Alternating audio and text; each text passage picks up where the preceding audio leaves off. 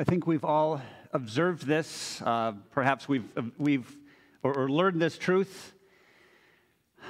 Maybe, maybe sometimes uh, in a very personal way and, and in a way that didn't always go so well. But, you know, when, when we're facing adversity, it, it tends, it, it, it, can be one of those situations where our, our true colors come out, right? When, you, when the heat is on, when, when you feel compromised, when you feel vulnerable, in life, whatever, in whatever way it may be, when you feel threatened or maybe even attacked, again, our true colors have a way of, of bubbling to the surface. We, we become emotional and we react sometimes without even thinking whether, whether good or bad. And um, so, yeah, we can learn a lot about, about other people. We can learn a lot about ourselves when we're facing adversity, when the heat is on. And, um, and, and those, those moments, those situations in life can be indicators of where, where a person is at, both emotionally and or spiritually. So the folks that Peter was writing his letter to, First Peter, eh, he wrote this letter to some Christian folks who were facing adversity. And the adversity specifically had to do with their connection to Christ, their faith in Jesus Christ as their Savior. I look around the room, I, I have a feeling we, we're all pretty familiar with what life, I mean, not firsthand, but generally we, we have an idea of what life was like in the first century in this regard. The, the fact that Christianity was not, it was not an official religion, but, but even that aside, it just wasn't widely respected, it wasn't widely accepted. And as a result, there was plenty of persecution. Uh, Christians in the first century they, they dealt with a lot. Not that Christians today don't as well, um, but certainly it was true back then in the first century. Uh, for example, just or Jesus himself, they, I mean, he ended up being crucified for, for being Christ. But even before that, they tried to run him off a cliff. And if you, you can go back and read it in Luke chapter 4, for claiming to be the, the Messiah that the Lord had promised throughout the Old Testament era. Uh, Stephen is a great example. In Acts chapter 7, we read about how Stephen was stoned to death on the spot for sharing his Christian faith, for, for witnessing to the opposition. And then we're told that on that very day, Acts chapter 8, verse 1, the very next verse after Stephen's execution, it says, On that day, a great persecution broke out against the church in Jerusalem, and all except the apostles were scattered throughout Judea and Samaria. That's how it was. There was this constant clear and present danger if you were a Christian in that part of the world in those days. And, and I can't even imagine what that would be like. Just how, how frightening that would be from an earthly standpoint in terms of our, our, our physical well being, how, how vulnerable you would feel, how, how uncertain your future would seem and how desperately you'd want that all to go away. Even to the point of, of, of asking yourself that question that I've been posing all morning, which is why? What, what, why? First of all, why is this happening? I mean, you know the why, but, but, but why is this? What, Why, why does the connection to Christ have to result in this? And, and then, is it worth it? Why am I, why am I staying in this place, this, it, it, in, with his status as a Christian known in this world and what the implications of that may be. That there would certainly be a temptation to leave your faith aside for the sake of some peace and safety here on this earth. And the, the Apostle Peter knew that. He knew, he knew his audience, he knew what they were facing, he faced it himself. And, and so he wrote this letter, First Peter, he wrote this letter, this encouraging letter filled with gospel, beautiful gospel truths and promises and assurances to first century persecuted Christians. I'm going to I'm going to start at the end of this lesson where in First Peter 2, verse 10, he writes, Once you were not a people, once you had not received mercy. So he reminds them of the reality of, of, of the alternative Right? There was once a time in their lives, just like you and me, just like every single soul in the history of, we're, we're all born into this world with sinful nature, with, without faith in God, there was a time when they, just like you and me, didn't belong to God. And, and he reminds them of the contrast. There was a time when they weren't God's people. There was a time when they didn't have, they weren't recipients of God's mercy, of the forgiveness that Jesus won on the cross. Yes, Jesus lived and died for every single sin, and, and it's there for all people, but without faith, we don't have that forgiveness. So there was a time, Jesus, uh, Peter reminds them, there was a time when they didn't have the assurance of their forgiveness. They hadn't received mercy in that way from God. There was a time when they were living in, in really what, what amounts to a, a helpless, hopeless darkness with regard to spirituality, with regard to faith. But, but again, Peter's making this contrast. He says, Once you were not a people, and then he goes on to say, but now you are the people of God. And, and in verse, the previous verse, verse 9, he calls them God's special possession. I know I use the word favorite a lot. How many favorites can you have? But I love that, I love that, that characterization that, that we are God's special possession. In, in life, to, I, I think a lot of us would balk at, a lot of people in the world in general would balk at this idea of being belonging to someone or something else that, that just doesn't feel right. We are our own people. We're, we're self, um, we, we, we can take care of ourselves, right? This idea of belonging to someone else, it, it just doesn't feel right oftentimes. And sometimes it isn't right. But the reality is, as human beings, we all belong to something, or some, someone or something.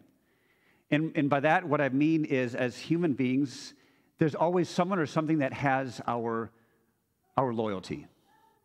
There's always someone or something in life that has our attention. There's always someone or something in life to which we are committed.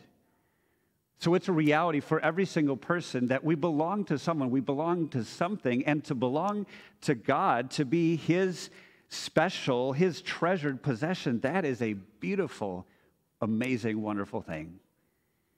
You are God's dearly loved child. You were bought at a price. 1 Corinthians 6, verse 20, Paul writes, You were bought at a price, the price of a life, the price of God Himself, God's Son, Jesus Christ. You mean that much to Him. That word special is one I think we use plenty. Um, it, it's, it's a loaded word here in the context of our relationship with God. You're so special that Jesus gave His life. You were bought at a price. God so loved not only the world collectively, but he so loved each and every one of you on a very individual, personal level. That, that he chose you from eternity, he chose you from before time began.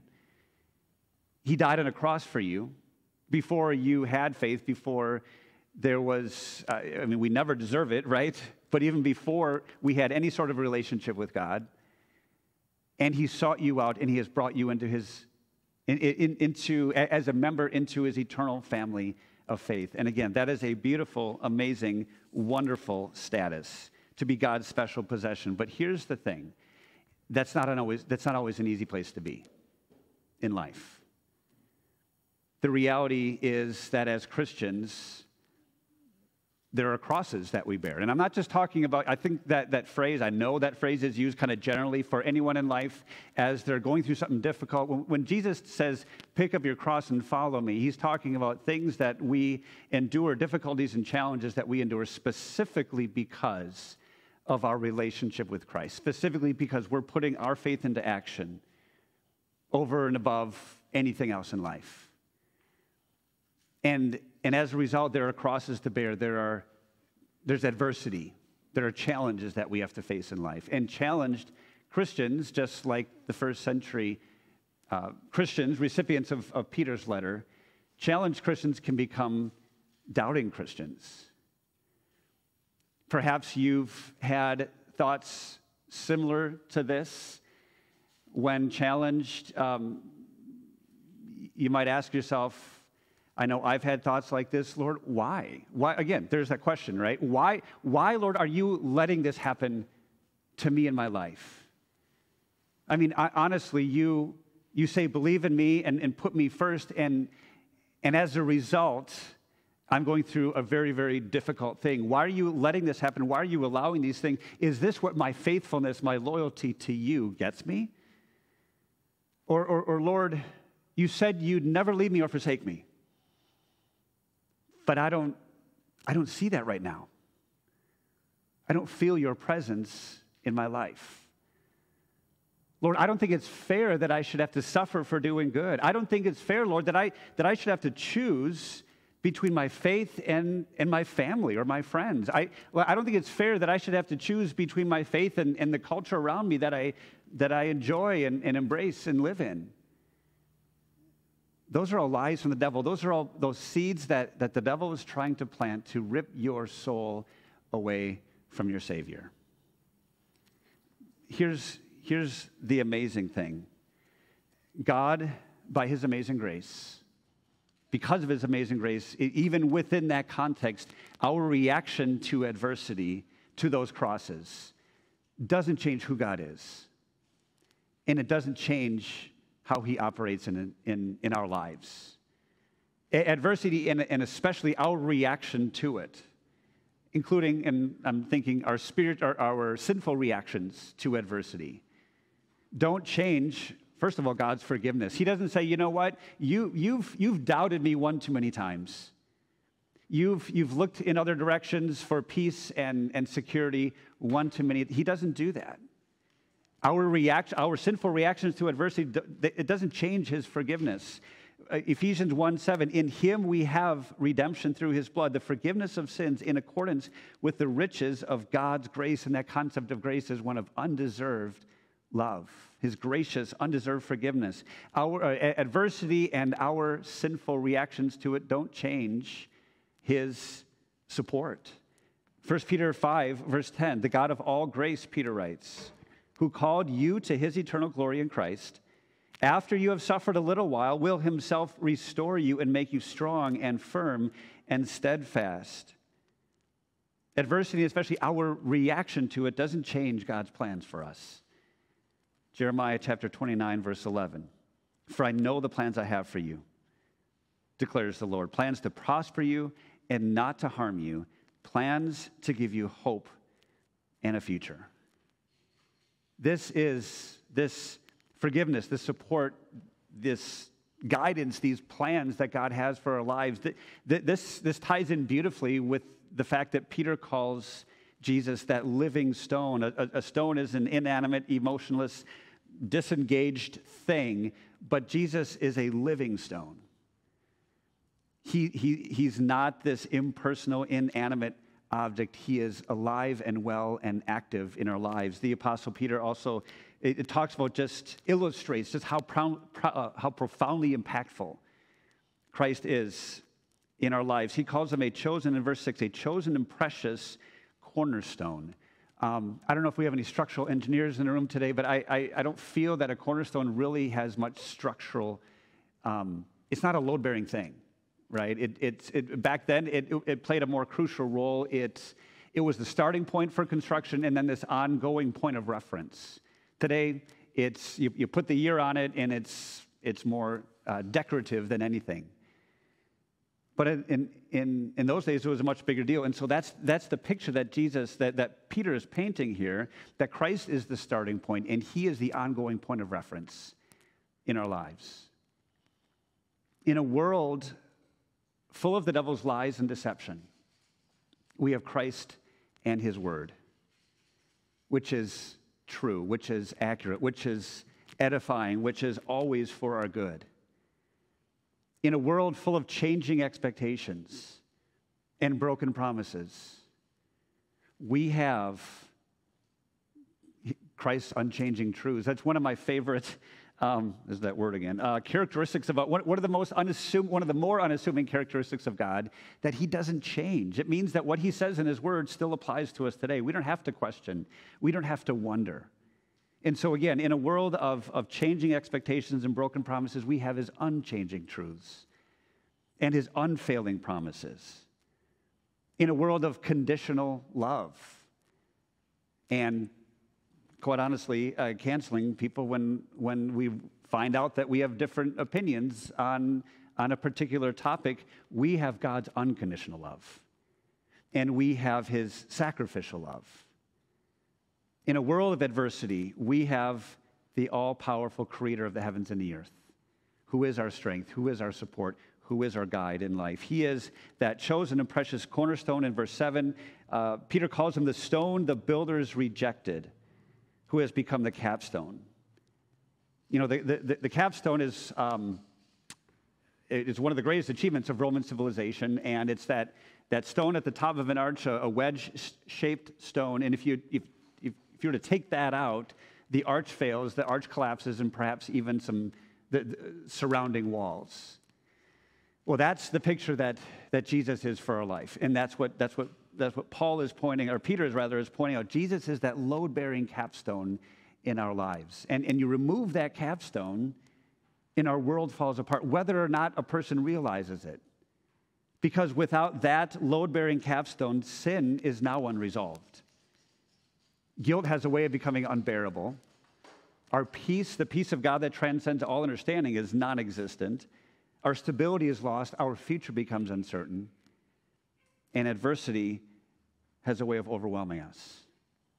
That's why the Apostle Peter, three times in our lesson, calls Jesus precious.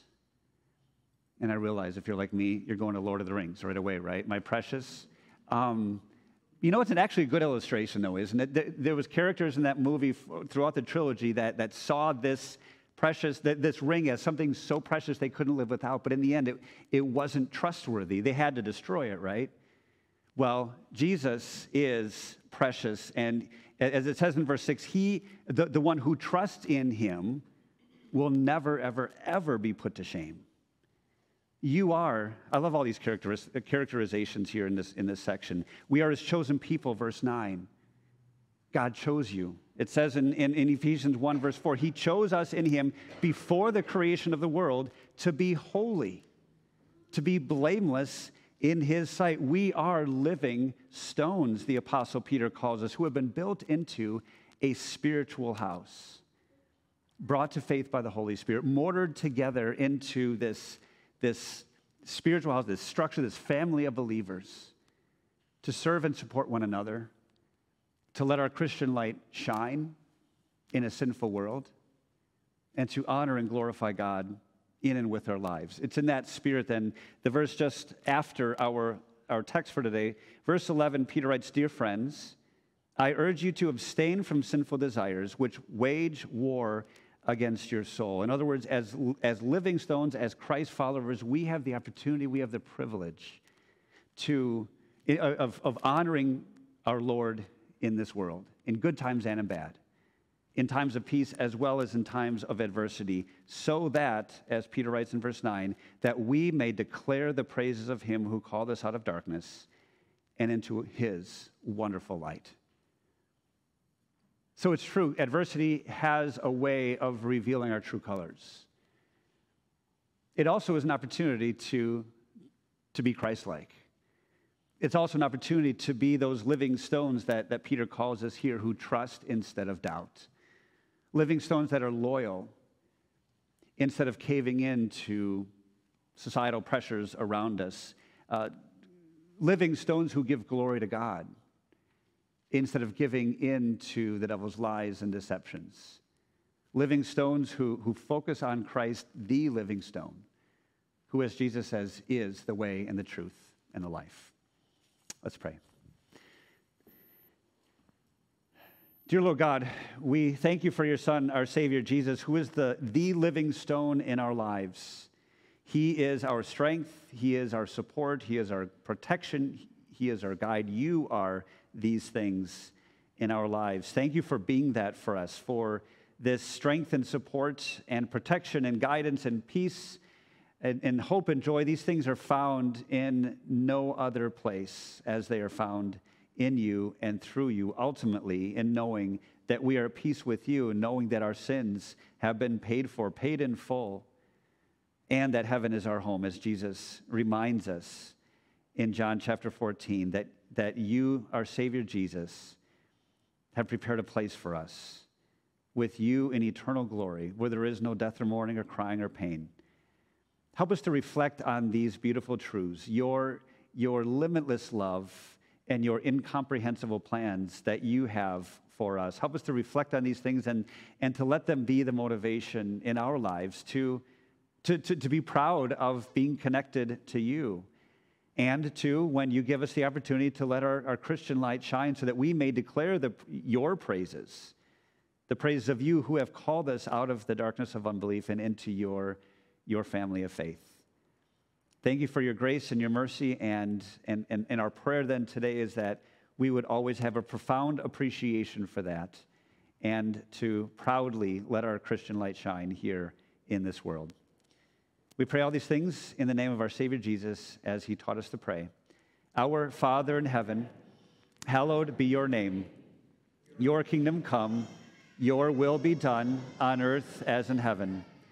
Give us today our daily bread. Forgive us our sins as we forgive those who sin against us Lead us not into temptation, but deliver us from evil. For the kingdom, the power, and the glory are yours, now and forever. Amen.